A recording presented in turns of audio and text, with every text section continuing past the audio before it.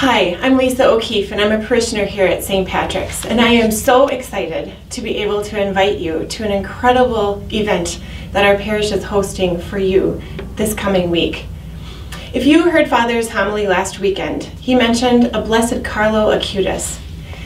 Blessed Carlo was just recently named a blessed in October of 2020.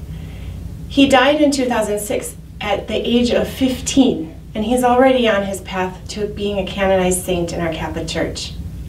When he was 11 years old, he took his love for the Eucharist and his love and talent for computers, and he combined them to start creating a website called the Eucharistic Miracles of the World. This 11 year old scoured the earth for all these Eucharistic miracles that he could take pictures and the stories and combine them so that people could learn more about the Eucharistic heart of Jesus. After he died in 2015, there were two bishops that came and took his website and made a 160 panel display of these beautiful pictures and stories from all over the world, all these different countries, all these different centuries of these Eucharistic miracles, and to put on display. And this is what our parish is hosting here at St. Patrick's.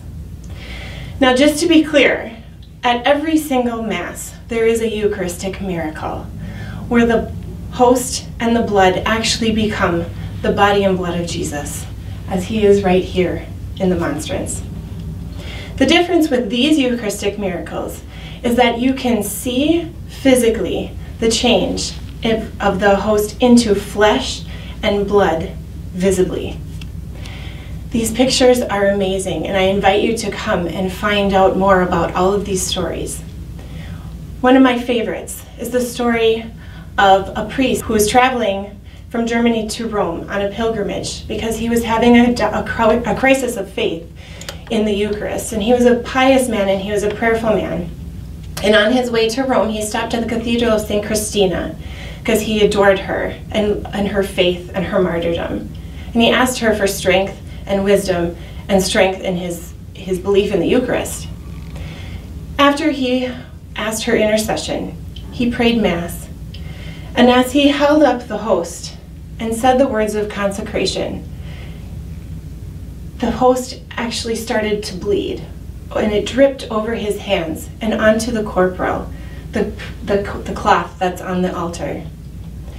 He didn't know what to do. He kind of panicked and he decided to just end Mass and he took the host and he carried it away, but leaving drops on the marble floor. He took it to the Pope, who explained what was happening and they found that it was actually a miracle of the host turning to flesh and blood. Many years, that was in 1263, and many, many years later they did analyze this blood. They found that it was type AB, which is the universal donor for blood. They found that it was from a man from the Middle East, that it was living flesh and blood, cells were alive, and that it was heart tissue from the left ventricle myocardium, which is the part of the heart that pumps oxygenated blood to the rest of the body. What's amazing about these miracles is that these same facts are true across many that have been analyzed. And you can come and see these pictures. All of us have hearts that have been wounded. We have parts of us that have hard time believing in certain things about our faith, about the Lord. We all have room to learn more about the heart of Jesus. And this is one opportunity that we can take to go on pilgrimage, short distance from our homes, to go on pilgrimage and take our hearts, take our intentions, take the people that we need to pray for, and bring them to the heart of Jesus who continuously reveals himself through his body and blood in our world, in different countries, to different people, in different places and times. This is a time to answer the call of Jesus' heart.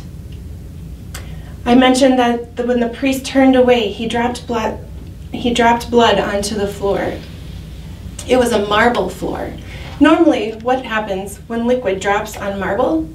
It sits there What's unique about this is that the blood fell onto the marble and penetrated the stone. They still broke it open and they found that the blood soaked into the marble. Even the hardest of hearts, the stoniest of wills, can be penetrated by the blood of Jesus. And that's how he calls us to himself over and over again. So I just invite you to make room this coming week for a pilgrimage to visit our Lord and see these Eucharistic miracles. And let the heart of Jesus penetrate your heart.